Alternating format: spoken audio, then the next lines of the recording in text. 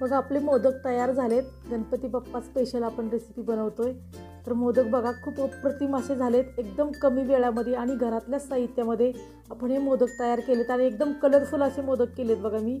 तीन कलरचा इथं वापर केलेला आहे मी. आणि खूप मस्त आणि खूप कमी वेळामध्ये ही रेसिपी तयार होते.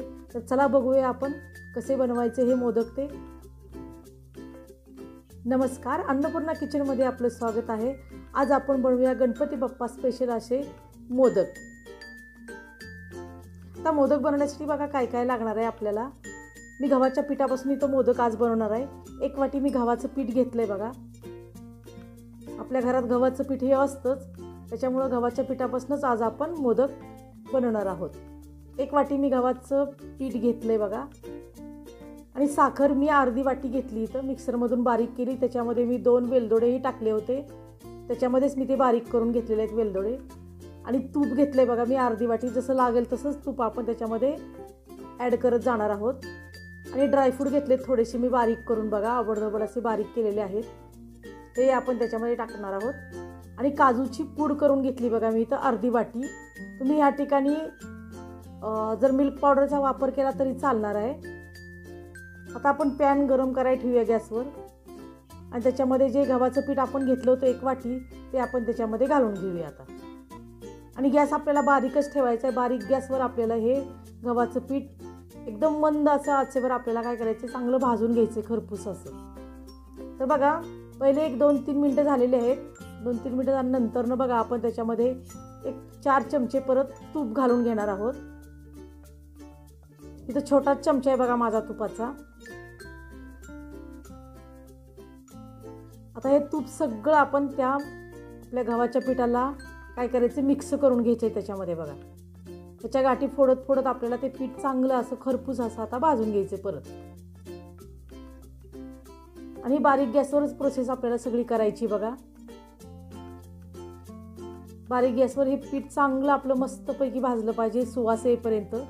आता नंतर बघा परत एक चार मिनटं झाल्यानंतर परत मी त्याच्यामध्ये तीन चमचे अजून तूप टाकले बघा. परत तीन चमचे तूप आपण घालून घेऊया. आणि तेही चांगलं आपण आता मिक्स करून घेऊया.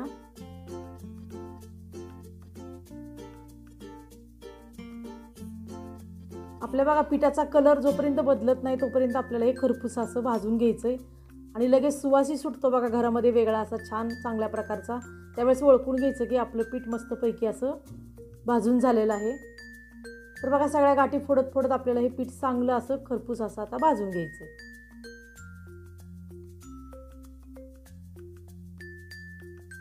बारीक गॅसवरच बघा ही प्रोसेस करायची. आपल्याला व्हिडिओमध्ये दाखवलं आहे त्या पद्धतीनं आपल्याला हे पीठ सारखं हलवत राहायचं आहे मिक्स करत राहायचं आहे आपल्याला. आता बघा पीठ आपलं चांगलं भाजून झालं आहे मस्तपैकी कलरही त्याच्यावरती आला आहे आता आपण काय करूया? त्याच्यामध्ये मध्यभागी थोडीशी जागा करूया. आणि त्याच्यामध्ये दोन चमचे परत आपण तूप घालून घेऊया.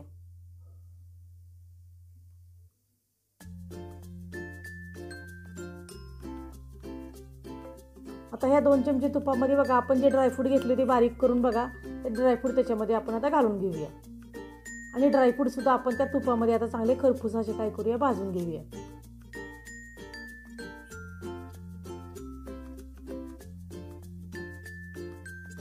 तर ड्रायफ्रूटसुद्धा आपले बघा चांगले खरपूस असे भाजून झालेले आहेत. आता हे सगळं पिठामध्ये परत मिक्स करून घेऊया आता आपण.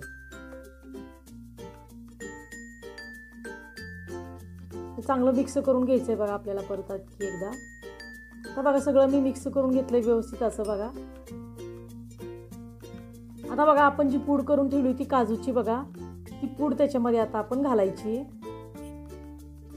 ती पूड सुद्धा त्याच्यामध्ये आपल्याला आता मिक्स करून घ्यायची आपल्याला त्या सगळ्या मिश्रणामध्ये. आता बघा सगळं मिश्रणामध्ये सगळं मिक्स करून घेतलं मी व्यवस्थित असं. आता आपण गॅस बंद करूया. आणि मिश्रण जरा थोडंसं कोमट करून घेऊया. आता मिश्रण मी कोमट करून घेतलंय बघा. इथं मी तीन तीन भाग करून घेणार आहे त्या मिश्रणाचे. आणि तीन कलरचा मी इथं वापर करणार आहे. तुम्हाला हवा असेल तर तुम्ही करा नाहीतर प्लेन ठेवले तरी चालतील. थोडंसं कोमट करून घेऊया पीठ आपण. आता या सगळ्या पिठामध्ये आपण आधी साखर घालून घेऊया बघा. अर्धी वाटी जी साखर होती ती साखर मी घालून घेतली. आणि सगळीकडे हे मिक्स करून घेऊया आपण आता. जास्त गरम असताना साखर नाही घालायची आपल्याला नाहीतर गाठी होतील बघा.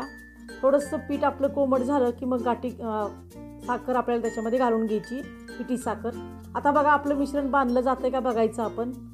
बांधलं जात नाही आहे तर त्या ठिकाणी आपण आता काय करू? दुधात दोन चमचे मी दूध घेतलं आहे बघा. मी तीन भाग केलेत बघा त्या मिश्रणाचे. एका भागामध्ये आता बघा आपण फूड कलरचा वापर करूया. इथं ऑरेंज कलरचा वापर केला आहे मी.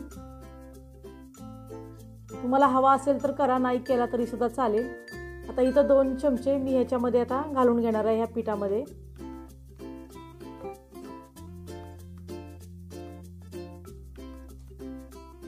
तीन चमचे घालून घेतलेत बघा मी. आता हे पीठ आपण चांगलं थोडंसं मिक्स करून घेऊया कलर तो.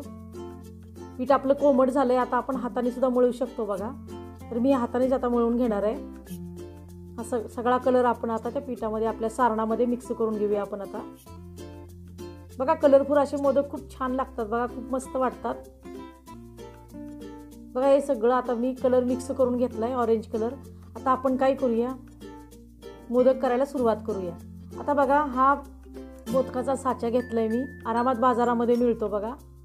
आता ह्याला थोडंसं तूप लावून घेऊया आतल्या भागात आपण. थोडंसं तुपाने ग्रीस करून घ्यायचं म्हणजे काय होईल अलगत असा आपला मोदक निघेल. साचा बंद करून घ्यायचा आहे परत आपल्याला. आणि त्याच्यामध्ये आता आपल्याला हे पीठ जे आपण करून घेतलं की नाही सारण ते सारण त्याच्यामध्ये आपल्याला आता भरायचं आहे व्हिडिओमध्ये दाखवलं आहे बघा त्या पद्धतीने सारण भरायचं आहे आपल्याला. व्यवस्थित असं म्हणजे आकार व्यवस्थित येईल आपल्याला मोदकाला. खालच्या साईडला थोडासा दाब द्यायचा आहे म्हणजे सगळीकडे व्यवस्थित असं आपलं सारण बसेल. तर सगळं सारण भरून झालं आहे बघा आपलं आता व्यवस्थित असं. दाबूनही घेतलं आहे खालच्या साईडनं आता आपण मोदक अलगत असा आता आपण काढून घेऊया आता. थोडंसं प्रेस करून झालं की साच्याचं तोंड काढून घ्यायचं. आणि हळूच असं उघडायचं. बघा आपला मोदक तयार झाला. खूप मस्त झाला आहे खूप अप्रतिम असा झालेला आहे बघा आपला मोदक. खूप छान झाला आहे असेच सगळे मोदक आता आपण करून घेऊया. आता दुसऱ्या याच्यामध्ये मी पिवळा कलर सुद्धा टाकला होता बघा. त्याच्यामध्ये तीच प्रोसेस सेम केली होती. मी दोन चमचे दूध टाकलं होतं. आणि त्याच्यामध्ये पिवळा कलर मी ॲड केला होता. त्याचंही आपण आता मोदक तयार करून घेऊया. तेही सेम तसंच करून घ्यायचं आहे आपल्याला. मागाच्या व्हिडिओमध्ये दाखवले त्या पद्धतीने. बघा आपला पिवळ्या कलरचा सुद्धा मोदक तयार झाला आता. पिवळ्या कलरचे सुद्धा सगळे मोदक आता मी असेच करून घेणार आहे.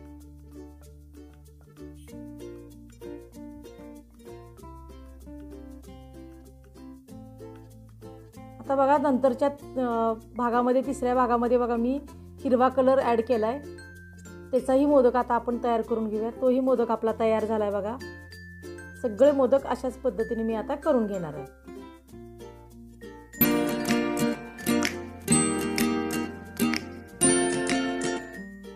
बघा मी सगळे मोदक तयार करून घेतलेत. एक वाटी गव्हाच्या पिठामध्ये आरामात पंधरा ते वीस मोदक आरामात होतात बघा. आणि हे मोदक खूप अप्रतिम असे लागतात. चवही खूप मस्त लागते टेस्टही खूप छान लागते. तुम्ही करून बघा.